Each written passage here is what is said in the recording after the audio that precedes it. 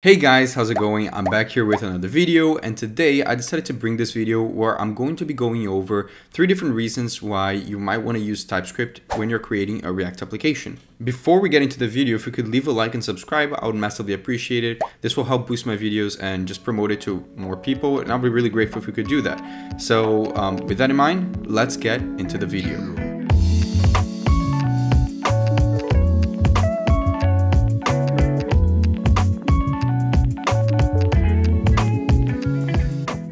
Okay everyone, so there's actually three different um, points that I want to make with this video. So for each of those points, I'm going to give you guys some examples on um, why that would matter. Um, and the first one is this one over here, which is um, TypeScript will for sure make your app more safe.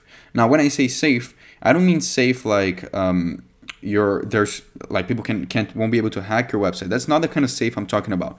I'm talking about um, type safety, which basically means that um, it will prevent you from, or not prevent you, but it will most likely help you not get caught into issues where um, you're trying to access, for example, um, a field inside of an object that um, doesn't exist, that is null.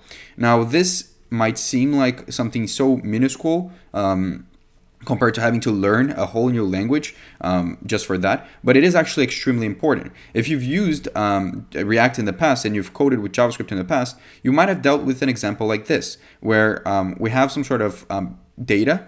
For example, I called it user. Um, I'm not using an actual um, API to test this. I'm just creating a fake data over here. You see that the user is a list of objects and each object includes a name, a school, and the school um, has information about the school's name and the school's location, right? So imagine that this is um, something that you're getting back from uh, an API request. And what I want to do with this app is I want to be able to uh, loop through this list. And for each element in the list, I want to display the name of this of the person and the name of the school, right? So in JavaScript, you would probably come over here and say um, that you want to display the user dot school to get the school name, and then say dot name. But there's an issue with this.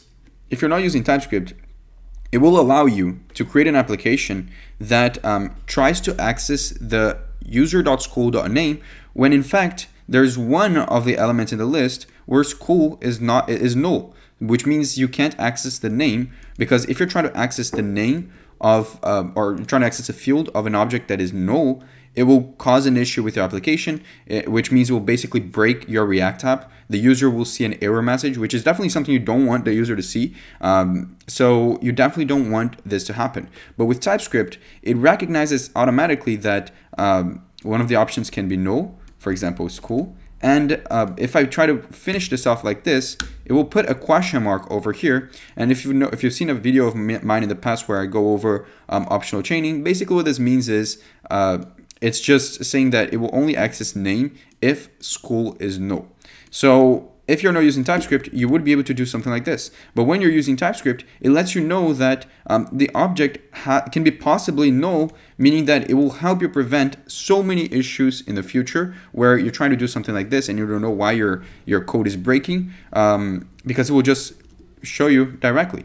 This works perfectly when you're getting um, data from the backend because um, you ha will have, you'll be forced to specify what kind of data you're getting back, which means that um, if someone is working on the backend and someone is working in the front end, they will need to communicate really well with each other so that the front end knows exactly what it's getting so that this kind of situations never occur again. So this is the kind of safe aspect of TypeScript. It goes way further than this. Um, however, uh, this is the main like point of it, right? It will let you know whenever you're making some sort of stupid mistake like this before you you'll spend like three hours trying to debug why um, your screen is breaking. So um, this is the first point that I wanted to make. That TypeScript it is safe and it is definitely just worth it to use it just by this point alone. So the second um, point that I wanted to talk about is the fact that uh, TypeScript in React will help you organize your code better. And what I mean by that is whenever you're working with an application uh, which has multiple components, um, it is very easy for you to create a component that if someone else is trying to look at it who have never worked in your code base before, um, and they look at your component, they'll they'll probably get confused. The reason for that is because um, components require, especially complex components, requires um, some props or uh, information that they get based on their parents. So um, if you look at one specific component without really knowing what um, where it's called or what the parent um, is doing, then it's very easy to get very confused and your component will kind of look very messy. TypeScript comes in because it forces you to declare the type of your props. So what do I mean by that? Um, we have this example over here, which obviously is fake, but it's an example. Um, we have a component called complex component, and it has some props, right? Like normally you would create in a normal JavaScript application.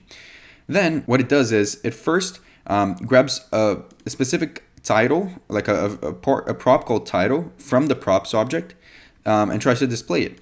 Then it does the same thing for description. And for an example a little bit more complex, we have some sort of function that you can get from the props that will be passed down called get name. And when you click on this button, we're calling this function. This function is returning a name and you're just I don't know, doing something with that value that you get back from that function. Like in our case, we are just creating a state called name and setting it and display it in the screen. So you can see it's not an overly complex component. It's just an example, but um, there's many different aspects to the prop object over here at the top, which we need to address. The first thing is we need to describe how this looks because someone who is looking at this component for the first time will get really confused because first of all, they don't know what name, what, what is the type of name, right? Name can be anything. Um, obviously, we're, we're setting it to be a string because we declare our state is equal to be a string, but it can literally be anything when we are not sure of it, right? Um, title and description, obviously we, we can assume it's a string, but we don't, we're not sure. And not to mention the fact that um, there can be more props to this component that we, we don't know of, right? So what would we have to do if we are using TypeScript? Well, we would have to declare what is known as an interface over here at the top, and we'll just say interface and then call it, for example, props.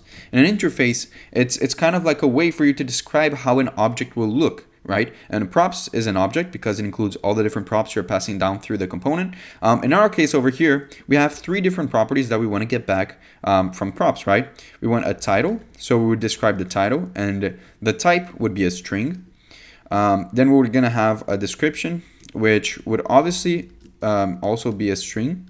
And then finally, we would have a get name function, right? Because we're declaring that, um, that we need this function.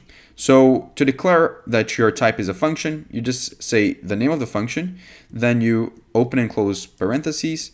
You also set the return type of this function, which is important for our case because we are getting back something from the function, right? Right now, if you hover over this, it will say that the name is any. And any is a type in TypeScript which declares that it doesn't know what its type is. It basically can be anything, which is bad for us. So we specify over here at the top that it will return always a string so that we know that name will become a string. I'll show you when we set the props to be this type. Um, so what we do now is we just grab, grab the props interface and we just say that this component's props will be of this um, model or of this structure. And now you see all of our, our, errors go away. Not only that, but if we hover over any of the props, we'll see its type being displayed over here, right? And the one, the, the get name function now says that it returns a string, meaning that name now is a string and not of any type, which is amazing, right? There's also a point I wanted to show which kind of um, goes back to what we mentioned of type safety. You can declare um, some types, some props to be, for example, um, optional. So if we if we have this component and we use it many times, but not always, you'll get the get name function. You can put a question mark over here, and it will automatically um, give us an error because what we're doing is we're trying to access the get name function from the props object when we just said that it can be optional, meaning you can simply not give it to the props. So props might not have a get name function. So what you do is you just come over here because props will always exist. So we don't put a question mark behind props. This won't help us at all because the problem here is not that props will not, maybe won't exist. The issue is that get, get name might not exist and we're calling it. So what we can do is instead of putting the question mark here, we can put it over here and put a dot right after. I know it looks kind of ugly, but this is how it, it, works with JavaScript and TypeScript. And what we're saying here is we're trying to access the get name property out of the props and get name will always exist. Um, it's not like it's, it can be null, but it can be undefined, meaning that it won't have anything like it will, exist, but it won't have anything with it, right? I hope that makes sense. So we're just calling it if it actually has um, a function, right? And now you see it's giving us another error, right? Because name now might be undefined as well because if we if, if the get name isn't passed then this doesn't make sense right? Name will not get we won't return a name. So we're setting name to be equal to undefined possibly. So with typescript it will let us know and we have to fix. We could do something like um, if name is undefined then just just set it to an empty string right? So you can see it, it helps us in a chain of events understand how uh, our application actually works and how our types should be defined.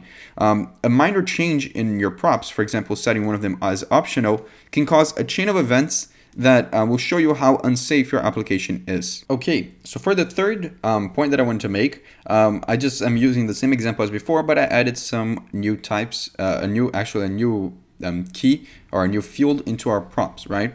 Now, what I want to talk about is the fact that TypeScript will just give you amazing autocompletion. Um, for example, uh, if we have a prop which it will get a user, right? User can have multiple fields, um, including one of them which is of type country, which is another type that we create, right? So if I wanted to access the, the name of the country of a specific user in an application, in JavaScript, it won't know what like what to access because it is JavaScript. You don't define the what what type each field is. But with TypeScript, I could come here and just autocomplete it um, really easily. I can say something like, I'm gonna grab the props, and it will when I put the dot, it will immediately give us all the options we can have. Then I'm gonna say I want user. Then I'm gonna put another dot, and it will give us all the options we can get. Then I'll just put country, and then the name of the country, right? And it will just um, autocomplete everything for us. Now this might seem minor, but I love it. Um, I, I hate when I'm using JavaScript and I have to manually assume that what I'm the object values and keys that I'm accessing um, are actually in the object or if they make sense. Um, sometimes I just miss like write a, a, an element. I could just come over here and write um, country like this and it won't give us a red squiggly line in JavaScript because uh, we didn't define that uh, this isn't a field in the user object. So that's a great point in my opinion because a lot of people don't understand how much time you save when you're doing something like this. So that was the third point I wanted to talk about and let's get to the last one. So that was the third point I really wanted to talk about, but I also want to mention one last thing. I know for a fact that the reason why some people are trying to learn TypeScript or most people why they decide to learn TypeScript is not because um, they are interested in learning, not because of the reasons I just listed out or because they want to make their application safer. It's because they know that it is required for a job. That was the whole reason why I learned TypeScript. I knew that I had to learn it because um, jobs would ask me um, if I knew TypeScript and that I would have to use it in an actual job, right? Although I don't like that approach, even though I, I did it that way too, um, it is something important to point out. If you want a job, you will use TypeScript. And if a job doesn't use TypeScript and uses JavaScript for an application in React, I would probably say it's not a really good job obviously I'm generalizing a lot here because TypeScript is a lot newer than JavaScript and there's a lot of code bases out there that uses JavaScript with React um, just because they started that way and um, it now it's too expensive to migrate to TypeScript. But um, at the same time, I'll say to beware, um, TypeScript needs to be used in an actual real application because the benefits are way more than the the cost, which in my opinion, the cost is just a, a, slight increase in amount of time you, you spend writing your components because you need to define the types and also the learning curve which even is isn't even that big if you know javascript. If you want to check out how to learn typescript if when you already know javascript or how to learn typescript if you already know react check out my two videos where i explain how um, how i learned and actually everything you need to know in order to say that you know how to create react applications using typescript. So that's basically it I really hope you guys enjoyed it. If you enjoyed it, please leave a like down below and comment what you want to see next. As you can see, it's been a while since I've actually made a video where I show my face and I'm going to be doing a lot more of this because I feel like I can talk better to you guys and I just never had a camera so I bought a camera for this and um, let me know what you guys think of the video and yeah, that's basically it. I really hope you guys enjoyed it and I see you guys next time.